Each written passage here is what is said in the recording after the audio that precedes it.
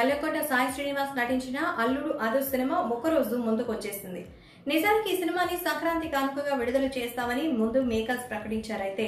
చాలా రోజుల తర్వాత ఈ సినిమాని సంక్రాంతి కానుకగా పదిహేనవ తేదీన రిలీజ్ చేస్తున్నామని క్లారిటీ ఇచ్చారు. అయితే ఈ సినిమా ఒక్కరోజు ముందుకు రావచ్చు అంటూ ప్రచారం అయితే ముందుగా గట్టిగా జరిగింది.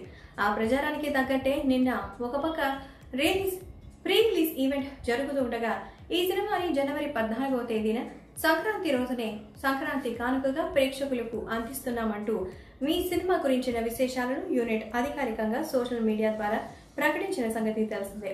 నిజానికి ఈ సినిమా ముందు పదిహేనవ తారీఖున రిలీజ్ చేయడానికి యూనిట్ అంతా కూడా సిద్ధం కావడానికి ఒక కారణం కూడా ఖచ్చితంగా ఉంది. అదేంటంటే పద్నాలుగవ తేదీన మరో హీరో రామ్ నటించిన రెడ్ సినిమా రిలీజ్ అవుతోంది. ఈ రెండు సినిమాలకి సంబంధించి డేట్స్ ముఖ్యంగా క్లాష్ కాకుండా పదిహేనవ తేదీన రిలీజ్ చేయడానికి ముందుగా మేకర్స్ ప్లాన్ చేసుకోవడం జరిగింది. అయితే మళ్ళీ ఏమవుతుందో ఏమనుకున్నారో ఏమో తెలియదు కానీ ఒక్కరోజు ముందే వచ్చేస్తున్నారు. బహుశా దీనికి సంక్రాంతి సెంటిమెంట్ కారణమై ఉండొచ్చు. అది కూడా సంక్రాంతి రోజున ఎక్కువ మందికి సెలవు ఉంటుంది. ఆ తర్వాత రోజు అనుకుంటే కనుమ రోజు సెలవు ఉండకపోవచ్చు. ఆ కారణంగానే సంక్రాంతి రోజున వచ్చేయడానికి ఈ సినిమా యూనిట్ డిసైడ్ అయినట్టుగా విశ్లేషణల ద్వారా సమాధానం వినిపిస్తోంది.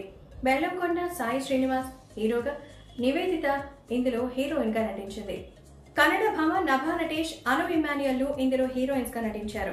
ప్రకాష్ రాజ్ సోను సూద్ లాంటి విలక్షణ నటులు కూడా ఈ సినిమాలో కీలక పాత్రల్లో నటించారు.